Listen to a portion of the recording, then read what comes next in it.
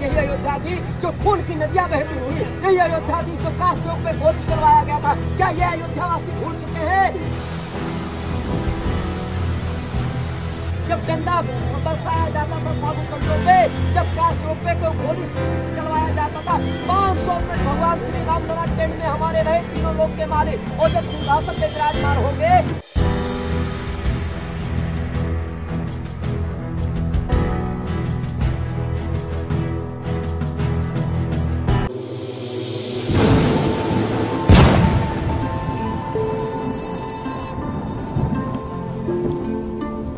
हर हर महादेव दोस्तों, मैं हूँ अभी अयोध्या के नजरबाग गुरुद्वारा में। और भाई, कल की क्या हालत यार? बहुत ही हालत खराब हो गई थी हमारी, क्योंकि जहाँ पर हमने टेंट लगाया था ना कल रात की बात कर रहा हूँ मैं, बहुत ही हालत खराब हो गई थी। आंधी इतना तेज आ रही थी ना, हम अपना टेंट भी नहीं ठीक से संभाल रहे थे, वहाँ पर निकाल के पूरी बारिश में पूरी रात नींद भी नहीं, ऐसा गुजारनी पड़ी थी हमें। तो चलिए आज यहाँ पर फ़िलहाल। अपना पूरा जुगाड़ बन चुका है इस गुरुद्वारे में। गुरुद्वारे में रुक रहे हैं हम। अपना भाई यहाँ पर ना मैक सेट कर रहा है। अभी हम जा रहे हैं सीधे राम पौड़ी जहाँ पर वो लोग बोलते हैं कि वहाँ पर नहाने से पाप से मुक्ति मिलती है। पाप से मुक्ति। क्यों मिलती है?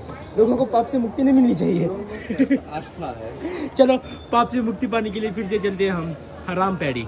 और भाई को कॉन्ग्रेचुलेशन एडवांस में भाई का हंड्रेड के होने वाला है। और भाई का नाम धीरज है धीरज यादव। मैंने आप लोगों को इंट्रोड्यूस नहीं करवाया था। आ, हम मिले थे देव प्रयाग में वो ब्लॉग आने वाला है। थोड़ा सा वो अटका हुआ है वॉइस ओवरिंग के कारण। तो वो ब्लॉग आएँगे ना तो ये हम पहली बार उसी ब्लॉग में मिले थे है कि नहीं? आ, देव प्रयाग ऋषिकेश हम वहीं पर मिले थे और वहीं से हमारी दोस्ती बढ़ी थी। और ये दोस्ती यहाँ पर अयोध्या तक पहुँच चुकी है। पता नहीं अभी अयोध्या में क्या धमाल करेगी दोस्ती।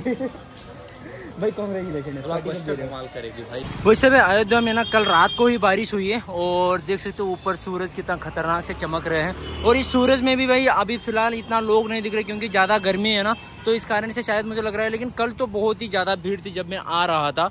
और जो हमारे प्यारे श्री राम जी की मंदिर है वहाँ पर है। जहाँ से आप लोग जाके यहाँ से दर्शन कर सकते हो अपना तो दर्शन हो चुका है आप लोग भी कर लीजिएगा। और जो हमारे श्री राम जी है चार सौ से पाँच सौ साल के बाद झोपड़पट्टी से एक भव्य मंदिर में विराजमान है भाई।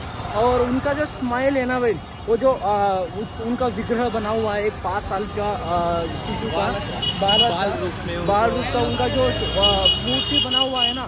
भाई आप देख के आप लोगों को लगेगा ही नहीं कि वो एक मूर्ति है। भाई आप उनको फील करोगे कि वो आपके साथ हंसता हुआ एक लड़का खड़ा हुआ है। ऐसा दिखता है यार, क्या मज़ा है। आप लोग एक बार दर्शन करने आओगे ना, लेकिन आप भूल नहीं पाओगे उस क्षण को जहाँ पर आप उनकी दर्शन करने के लिए अंदर एंट्री हुए थे। और जो श्री राम जी के मंदिर की तरफ़ रास्ता जाता है, इस रास्ते का नाम है राम पथ मार्ग। और देख सकते हो, ये रास्ता भी कितना खूबसूरत से बनाया गया है। और भाई, अयोध्या में बहुत ही ज़्यादा खूबसूरत सी डेवलपमेंट भी हुई है। यहाँ पर आप लोगों को हर जगह ऐसा लगेगा ही नहीं कि आप एक अयोध्या में है पहले की तरह। भाई, कितना क्लीन कितना स्वच्छ भाई इसके सामने ना इंदौर भी फीका है। तो भाई धूप से घमासान युद्ध करते हुए हम लड़ते पड़ते यहाँ पर आ चुके हैं। अभी लता मंगेशकर चौक जहाँ पर उनकी याद में उनकी या, उनकी याद के लिए यहाँ पर एक बहुत ही बड़ा सा गिटार बनाया गया है। और उस गिटार को देखिए आप लोगों को ऐसा लगेगा कि अयोध्या पे ये तो चार चाँद लगा रहा है। और यहाँ पर चाँद को देख के याद आया यहाँ पर एक भव्य सूरज का भी यहाँ पर प्रतिमा है। देख सकते कितना खूबसूरत सा बनाया गया है अयोध्या में। और इसी के कारण यहाँ पर ना हर एक जो आप लोगों को स्तंभ दिखेंगे, वो सारे के सारे सूरज के स्तंभ वाले दिखेंगे, ये देखिए। कितना खूबसूरत लग रहे हैं भाई, ये ये ना, ये जो आप लोगों को जो सूरज की तरह स्तंभ दिख रहे है, ये रात में ना बिल्कुल सूरज की तरह चमक उठते हैं। और यही है वो उनका संगीत का साथी लता मंगेशकर की जहाँ पर उनकी याद के लिए अयोध्या में बनाया गया है इस गिटार को। और इसको हिंदी में क्या बोलते कमेंट में ज़रूर बताना। क्षमा कर देना क्योंकि अपन साउथ से ना तो इसकी नाम वगैरह सब कुछ थोड़ा सा सर्च नहीं कर पाया हमें लेकिन हाँ देख सकते हो कितना ज़्यादा खूबसूरत है। और अगर आप लोग इस लता मंगेशकर की आखिरी चिथानी जो कि उनकी याद में बनाई गई है, इस भव्य को देखना है तो आप लोगों को ये वाला रास्ता जो दिख रहा है ना, ये है राम मंदिर के रास्ता। वहाँ से लगभग आप लोगों को बस 500 से 600 मीटर आगे आना पड़ेगा, जहाँ पर आप लोगों को रामपाड़ी की तरफ़ भी रास्ता मिलता है। उसी उसी जगह पे, उसी स्थान पर आप लोगों को ये सर्कल दिख जाएगा, जो कि बहुत ही ज़्यादा भव्य लग रहा है और बहुत ही ज़्यादा खूबसूरत लग रहा है।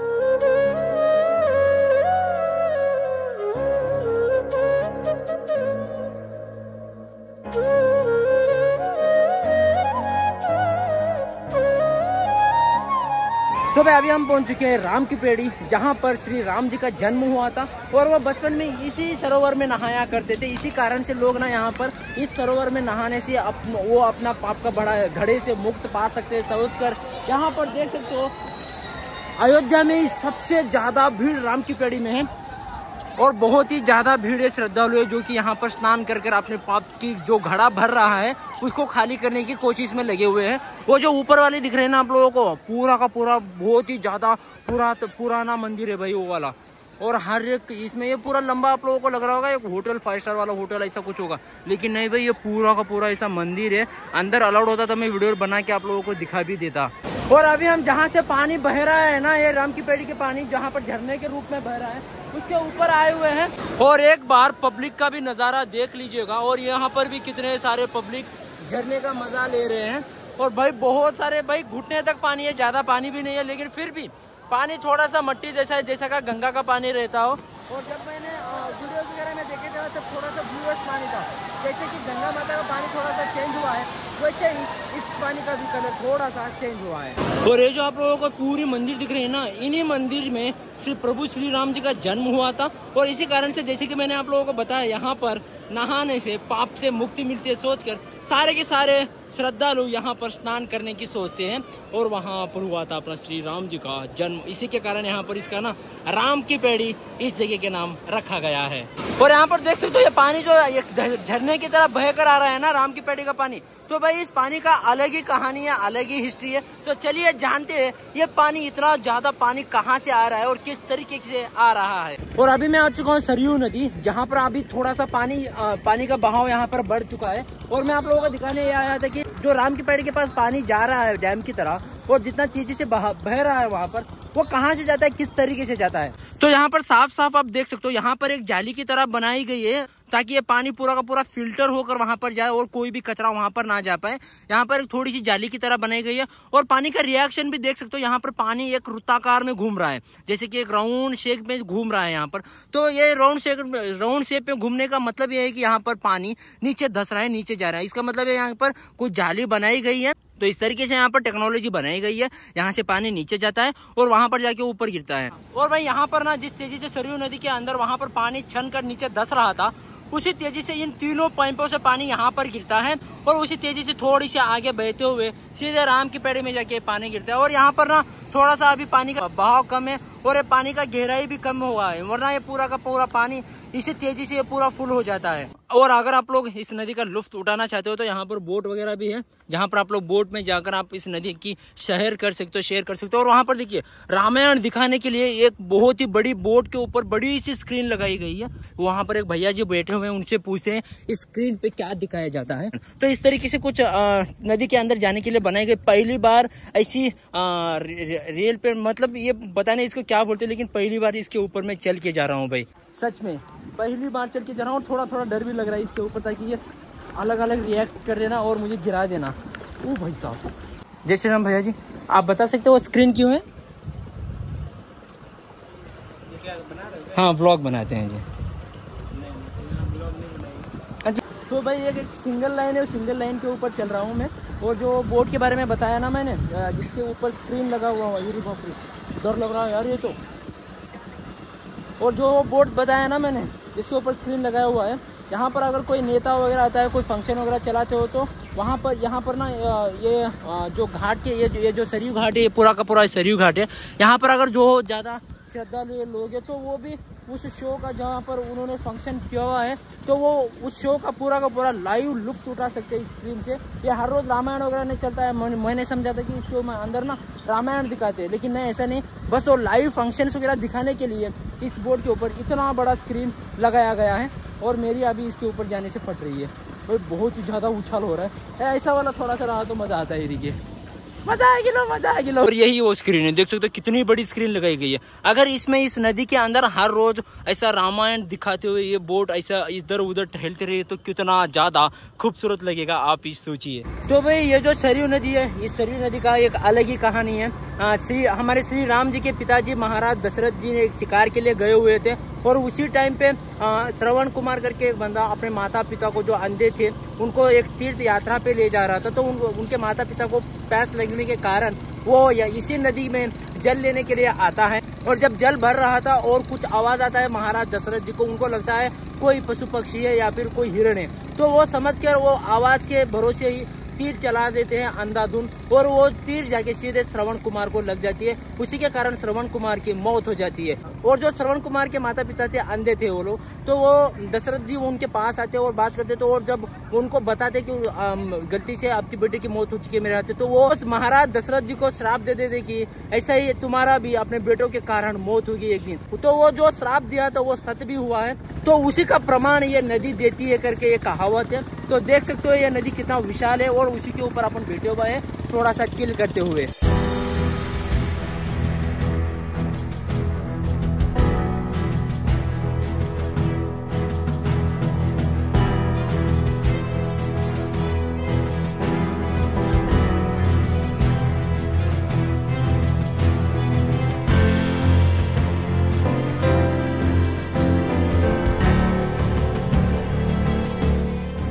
तो भाई अभी हम पहुँच चुके हैं माता जानकी मंदिर मतलब हमारी माता सीता मंदिर। और ऐसा कहा जाता है कि यहीं पर श्री श्री राम जी ने रावण के चंगुल के जब सीता माता को छोड़ा के लेके आए थे तो यहीं पर उनका स्थान था यहीं पर रहती थी। उसके बाद सीता माता सीता हाँ, महर्षि वाल्मीकि के पास गई थी। हाँ, उसका कारण तो आप लोगों को पता ही होगा क्यों गई थी के कारण और अगर मंदिर के अंदर जो गार्डन है ना उस गार्डन के ऊपर भी देखोगे तो यहाँ पर डिज़ाइन में बनाया गया है। यहाँ पर राम का नाम है यहाँ पर ओम का नाम है और फिर से यहाँ पर सीता का नाम है। ये पूरा का पूरा सर्कल के ऊपर ऐसा ही लिखा हुआ है राम ओम सीता राम ओम सीता। एक मंत्र की तरह लग रहा है और ये गार्डन भी देख सकते हो कितना खूबसूरत सा बनाया गया है और ये रहा अपना जानकी माता का स्थान। और अभी एक, एक विशाल आश्रम में परिवर्तित है जो माता जानकी का मंदिर है। और यहाँ पर आप लोग रहकर खाना वगैरह भी खा सकते हो सब कुछ फ्री का रहता है। और मुझे रहने का पता नहीं रहने का यहाँ पर रूम वगैरह भी सारे के सारे अवेलेबल है यहाँ पर। रूम वगैरह शायद पैसों से देते होंगे कुछ आ, कुछ चार्जेस लेते होंगे क्योंकि उनको भी ना ये सारे देखभाल देख रखल करना पड़ता है और इसके लिए थोड़ा सा ज़रूरत भी हो जाती है तो इसके कारण शायद लेते होंगे।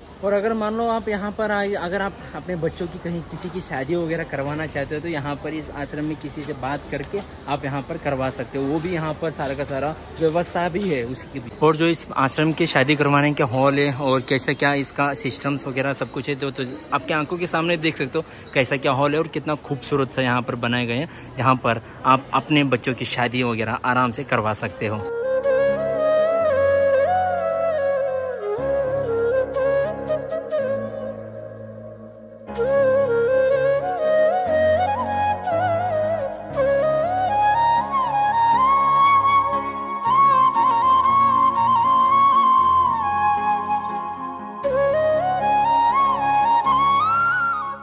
अभी हम जा रहे हैं हनुमानगढ़ी मंदिर के लिए। ऐसा माना जाता है कि यहाँ पर ना, राम जी के दर्शन से पहले हनुमान जी का दर्शन, शिवक का दर्शन करना चाहिए बोलते हैं। और ना आपकी जो ये यात्रा है, जो राम मंदिर के दर्शन की यात्रा है, ये व्यर्थ मानी जाती है। तो इसी के लिए सबसे पहले, और ऐसा माना भी जाता है कि राम मंदिर से भी ज़्यादा भक्त वहाँ पर हनुमान राम मंदिर से ज़्यादा भक्त वहाँ पर हनुमानगढ़ के पास रहते हैं बोलते हैं। और भाई ने भी यही कहा तो मैंने कहा कि चलो, कल तो हमने राम जी के दर्शन कर लिए तो उल्टा हो गया, लेकिन फिर भी चलो हनुमानगढ़ी का दर्शन कर लेते, क्योंकि ज़्यादा मुझे इन्फॉर्मेशन पता नहीं था ना।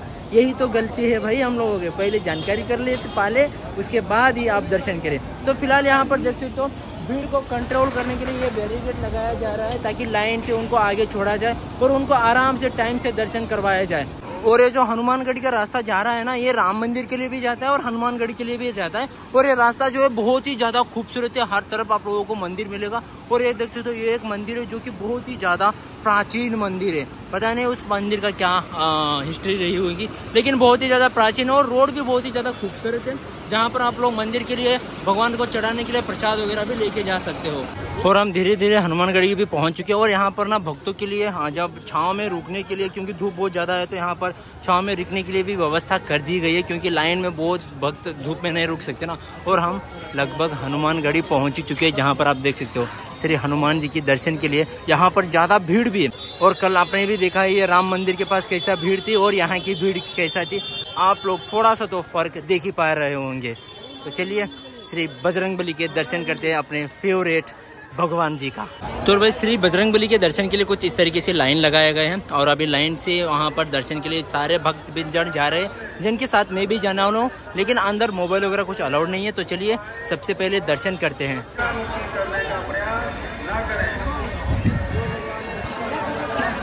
तो भाई दर्शन करने के लिए बिल्कुल टाइम नहीं लगा क्योंकि यहाँ पर भीड़ तो है लेकिन जिस तेज़ी से यहाँ पर दर्शन हो रहे हैं ना भाई बहुत ही ज़्यादा तेज़ी से हो रहे हैं। हाँ लेकिन उसी कारण से वहाँ पर ना एक इंटरव्यू चल रहा है एक टीवी चैनल के हिसाब से जहाँ की मोदी जी को तो बहुत बड़ा धोखा मिल चुका है। तो चलिए वहाँ पर उस धोखे के बारे में क्या क्या बातचीत हो रही है देखते हैं। बहुत जगह यहाँ पर आना जाना दिए और दूसरी बात जो भाजपा ने नारा दिया था विकास का वो नारा आपको देखने को मिलेगा।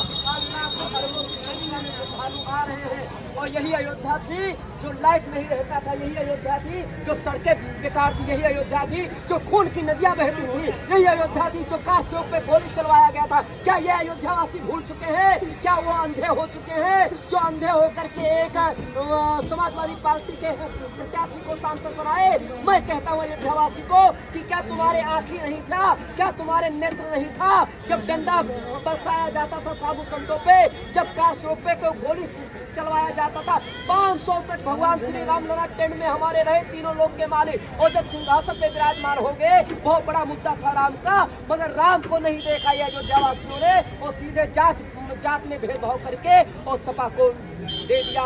मतदान या और विजय प्राप्त करा दिया। ये बताइए ये, ये, ये तो लोगों की अपनी मर्ज़ी है ना।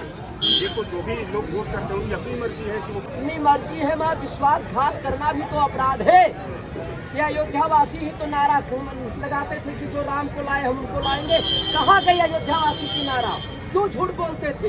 विश्वासघात क्यों किए? सबका मन है आपका सभी जनता अपने मन तो में वही तो मैं- जिसकी इच्छा हो तो आप- आप- को देंगे वो आज राम मंदिर बन रहा है श्रद्धालु आ रहे हैं राम को निहार रहे हैं। और राम के नाम पे तुमने कहा था कि राम मंदिर बन जाएगा। ये अयोध्या के साधु संत बोलते थे कि हे मोदी जी हे योगी जी राम मंदिर बनाओ। कब हम बनेगा केवल तारीख बताते हो। आज राम मंदिर बन गया तो सपा को जिता दिए।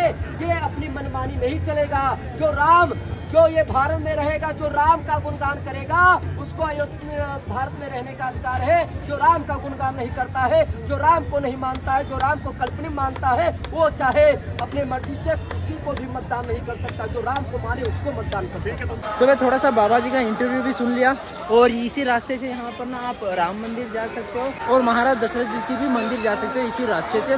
लेकिन बाबा जी का आक्रोश कैसा लगा यार? बहुत बाबा जी यहाँ से साधु संत जो है ना, बहुत ही ज़्यादा असंतुष्ट है अयोध्या वासियों से, क्रोधित बहुत ज़्यादा है। आप लोगों ने अपने आँखों के सामने ही देखा है और आप लोगों को मैंने दिखाया भी है उनका इंटरव्यू में, जो कि किस कारण से वो इतना ज़्यादा क्रोधित से और मैंने आपको कल भी वीडियो में बहुत ज़्यादा बड़ी भी हो गई थी वीडियो और आप लोगों को बताया भी है क्यों क्रोधित के क्या कारण था। गद्दारी तो गद्दारी होती है the next day. तो भाई रात में इस पुष्प वाटिका में हम रुके हुए थे और अभी देख सकते हो ऊपर माहौल भी थोड़ा सा आ, बादल छाए हुए हैं और अभी भी शंका है कि बारिश वापस आ सकती है और हमने सारा अपना सामान भी समेट लिया और कुछ सामान भीग भी गए यार। रात में बहुत मुश्किल से रात गुजरी आंधी हो वगैरह तूफ़ान। ऐसा लग रहा था कि टेंट के साथ हम भी पैराशूट की तरह ऊपर उड़ेंगे लेकिन बार बार बचे हाँ।